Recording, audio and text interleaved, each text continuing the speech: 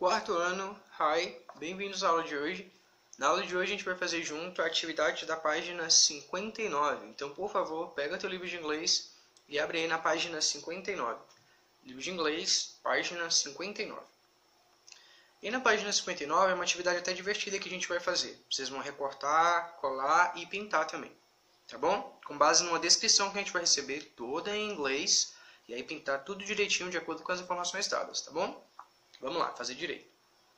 Na página 59, lá em cima, tem o seguinte: Cut and Glue, que significa recorte e cole. E logo abaixo tem as instruções dessa atividade que a gente vai fazer hoje. Escutem com atenção. Read what people are saying, color the parts of the body, and glue them in the correct places. Go to page 61. Tradução. Leia o que as pessoas estão dizendo, pinte as partes do corpo e cole elas nos lugares corretos. Vá para a página 61. Entendeu? Aqui na página 59 a gente está vendo que tá tudo em, tem três rostos, né? Só que está tudo em branco. Cada rosto está em branco. O que, que, a gente vai fazer? Lá na página 61 a gente vai recortar, porque as partes que estão faltando aqui na página 59 vão estar na página 61. E aí a gente vai colar o que está na página 61 a gente vai colar na página 59. Só que tem que ter cuidado para colar cada parte no lugar correto, certo? Lá a gente vai ter cabelo, olho, nariz, a boca, de cada um desses três rostos, né? E aí tem que colar direitinho. E pintar direitinho também. Para a gente saber que parte vai em que, vai, vai em que rosto e que cor é cada coisa, a gente tem que ler primeiro a informação que está nos balãozinhos, tá bom? Para a gente saber exatamente onde a gente vai colar e que cor a gente vai pintar, certo? Cada parte que vai ser citada aí. Então vamos nessa. Primeiro balãozinho azul. Vamos lá. Hi, I am John. Oi, eu sou o John. Lá vai, a primeira, a primeira, a primeira dica que ele vai dar. I have black hair. Eu tenho cabelo preto, brown eyes, olhos castanhos ou marrom, né? And a big nose e um nariz grande. I have a big mouth. Eu tenho uma boca grande. Certo? Então você vai colar nele o quê? A boca grande, o nariz grande, certo? E os olhos dele você não pode esquecer de pintar de marrom, certo? De brown, que é o mesmo que, que castanho, tá? E o cabelo dele você vai pintar de preto.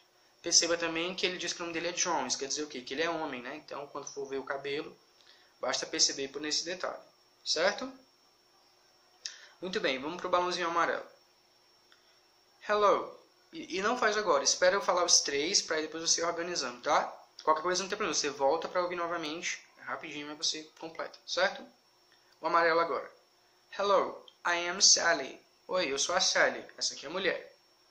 I have red hair. Eu tenho cabelo vermelho, certo? Ou ruivo. Green eyes, olhos verdes and a small nose, e um nariz pequeno. I have a big red mouth.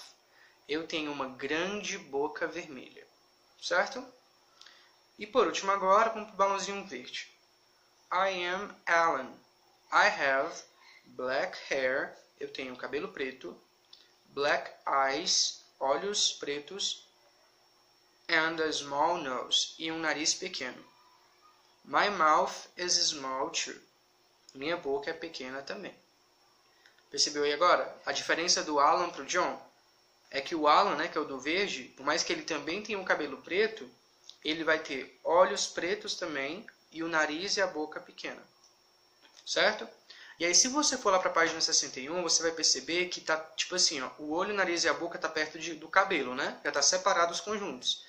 Basta você descobrir que conjunto vai com quem. E aí você cola e pinta da cor que foi recomendado.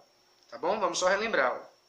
O primeiro lá em cima, o John, ele tem cabelo preto, olhos castanhos, nariz grande e boca grande. A Sally, ela tem cabelo vermelho, olhos verdes e um nariz pequeno, mas a boca dela é grande e vermelha.